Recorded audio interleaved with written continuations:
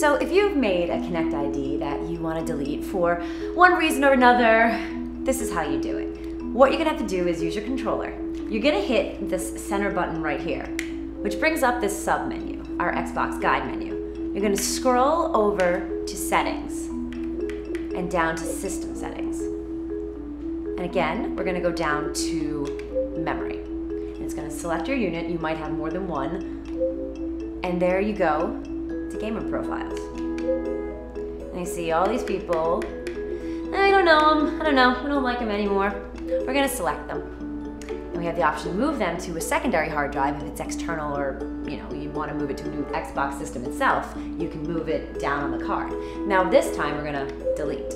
So when you're deleting a profile, you have two options. You can just delete the profile, or you can delete the profile and any items associated with that profile, which is achievements and you know certain like if you downloaded clothes or you know little cookies like that. Um, if the person is completely off the Xbox, I would recommend cleaning it out because you do need space. So we're gonna delete everything, and we're gonna wait, and it's gone. And let's say we want to delete this one. Same thing, delete and this is good to do. I mean, you know, you want to keep a lot of free space and you can kind of just keep going.